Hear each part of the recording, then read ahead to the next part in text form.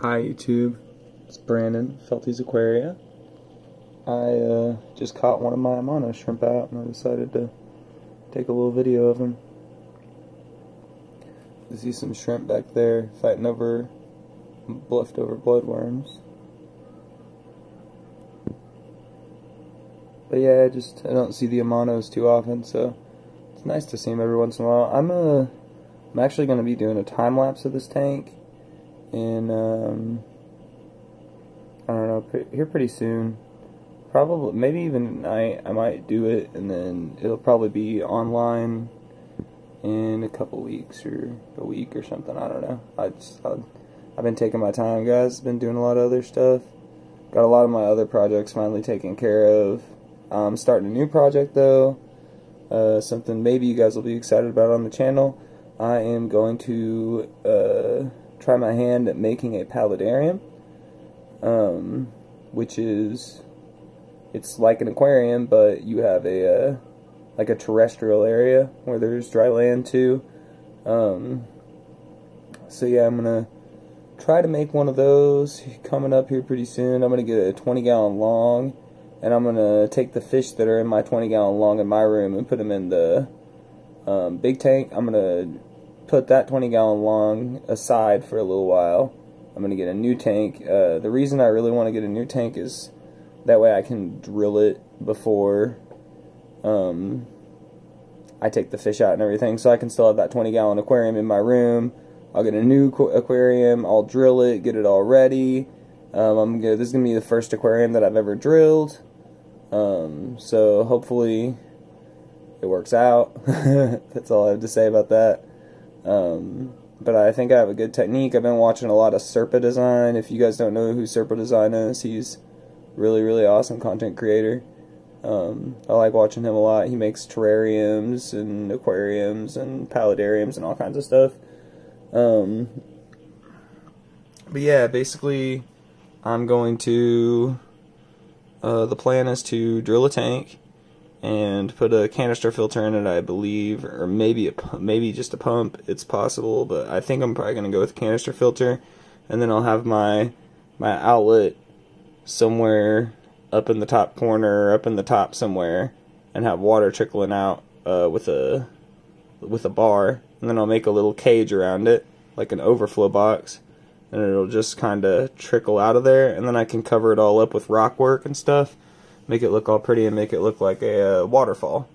You build up all the land with expanding foam and rocks and possibly egg crate and false bottom type stuff too. Um, make a decent little, I think a 20 gallon long should be perfect for my purposes because I just, I'm going to put, uh, I know most YouTubers are like, oh, I'm not going to tell you what this is, but I don't have very many subscribers, so I don't mind to tell you guys. You guys you guys are all like close with me probably um, if you do subscribe to the channel. So uh, they are going to be uh, fire-bellied newts.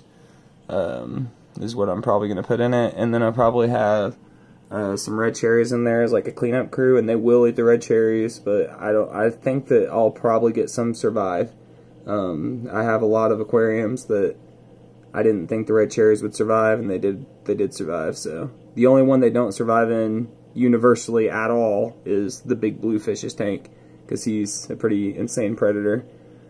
But uh, there's going to be a lot of hiding spots, uh, a lot of plants, and stuff like that. Um, hopefully you guys will be looking forward to it. And it probably will take some time. I'm going to start working on it here soon. But I have to amass a lot of stuff because I've never done a terrarium. So there's like a lot of different like little things that I have to get, like substrates that I need I'm going to use some of the plants and some of the substrate from that other 20 gallon long, and then I'm going to take the other um, stuff that I have in that 20 gallon long and put it in my ponds probably.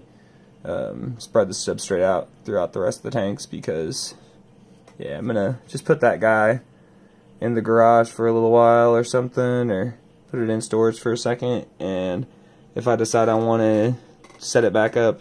It's been on that same stand for a long time. I'm also going to try to make a stand for it. So that will be another thing that you guys can look forward to is me building a stand. Because that's awesome. Um, yeah, guys, that's about it. Um, I'll keep you posted on when I get little bits and pieces for the Paludarium. Oh, I guess I can. We'll make this a longer video. Okay. So, one second. Got my new keyboard today. It is a steel case. There's the actual, or SteelSeries. Steel case, I'm stupid. Um, yeah, so far, so good. Um, I did get a couple other little doodads and bits today. Got a card reader um, for the computer. Um, I got a USB cord to put into the soundbar, so I'm gonna try. Here, I'm haven't just haven't tried to turn it on and just mess with it yet because I'll have to like change some some settings in the computer to get it to work anyway, you know. Um, but hopefully I'll get that working here pretty soon. Um, and the other thing I got is a um, a faster Ethernet cable. It's a I think this one that I had was like a Cat 5 or 6, like super old. I probably need to replace this gray one too here um, with another fast one. But that's like a Cat 8.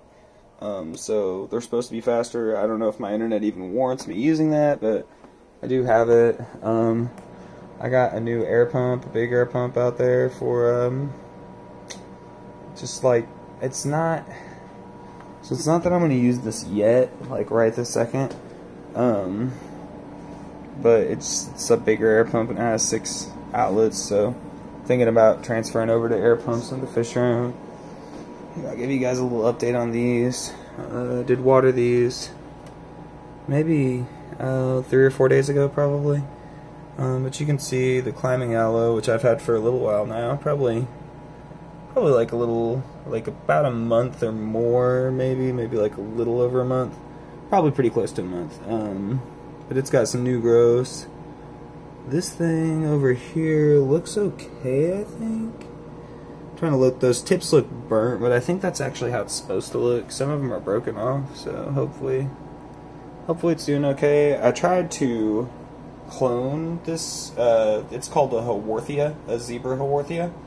Um, I tried to clone it, but it did not work. and a lot of people say they're really, really like succulents are just really hard to clone. Bunch of succulent potting mix and stuff for some more, get some more cloning experiments going on soon. But yeah, I got a got a few things in the mail today. I can't remember if there was something else I got. Just a bunch of cords. Was that all? Oh man, I feel like there was definitely something else. Um, I don't know. I'll keep you guys updated on. Uh, I'll probably start amassing um, Paludarium gear here pretty soon. Uh, this setup's really starting to come together. Got everything pretty much going on in here. This I'm gonna have the desk going on here pretty soon. So yeah, that's it, guys. That's the whole video. Um, hopefully you guys have a wonderful night and um, enjoy your YouTube time.